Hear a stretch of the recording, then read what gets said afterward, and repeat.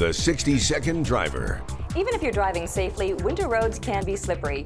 One way to reduce your risk on the roads is by purchasing winter tires. Winter tires have a cold weather rubber compound and tread patterns that are meant for wet surface control. They are built to help you with traction on snow or ice while you're driving. When shopping for winter tires, look for a snowflake symbol on the tire's sidewall. This symbol helps set winter tires apart from standard and all-season tires. It indicates the tires have met the specific tire traction performance requirements and are designed to be used in severe snow conditions. The Winter Tire Program provides low interest financing to eligible Manitobans.